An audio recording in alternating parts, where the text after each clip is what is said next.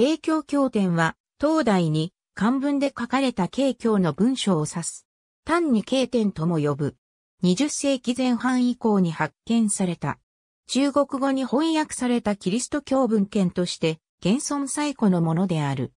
大神慶教流行中国碑によると、西暦635年に、アラペンが慶教の経典をもって、長安に至り、布教を許されて大神寺を建て、経典を翻訳したという。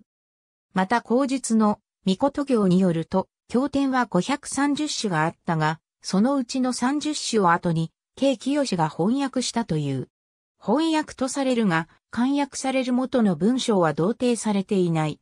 実際には翻訳とは考え難い書物も多く、中国で作られ、権威づけのために翻訳とされたものもあったと考えられる。慶教経典の漢文は特殊な点が多く、十分な解読が行われていない。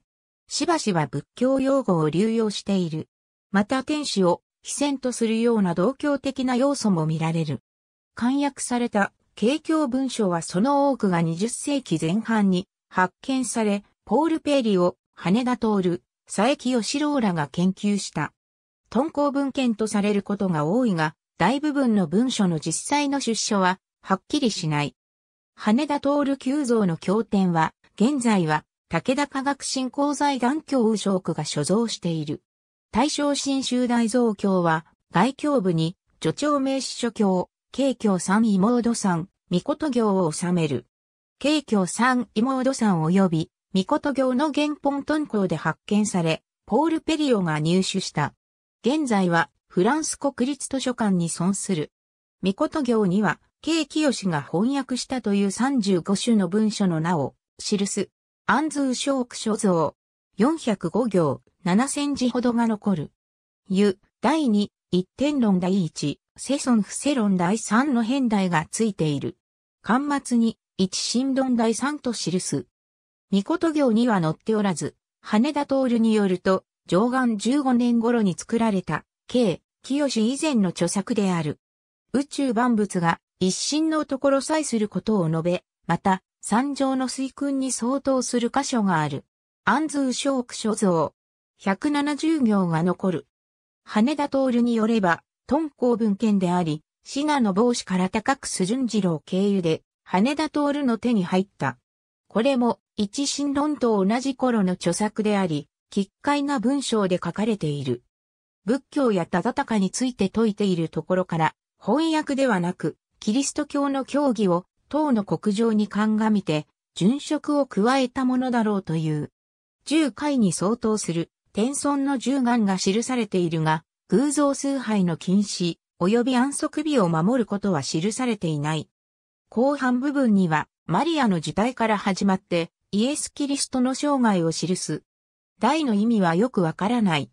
羽田徹は、助長は、イエスの恩赦、名詞書は、名詞化の誤りで、メシアの恩赦と考えた。安通小区所蔵。159行、約2600字が残るが、単に用語だけでなく、全体の体裁も仏典に似る。御事行では3番目に挙げられている。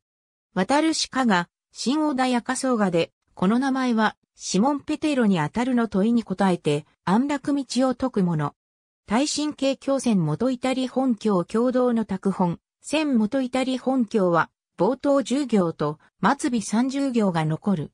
この教名は、御事行の2番目に記されている。末尾部分と大小通信機法さんは元利製託の所蔵であったものを小島康が将来したといい、羽田徹は敦煌文献であると考えたが、林悟ことらはこれを疑い、贋作とした。内容は、老子道徳教の注釈で、そこにキリスト教的な概念を盛り込んだもの。大小通信記法さんは18行で、再起によると礼拝式に関する注意書きである。式で読まれる書の名として、天保増教、大西王行、足久都市立行などが挙げられているが、これらはいずれも、御事行に見える。千元イタリ本教の末尾には、開元5年、大小通信記法さんは、開元8年の筆者年が記されているが、羽田徹はこの年代を疑わしいとして、番頭のものと考えた。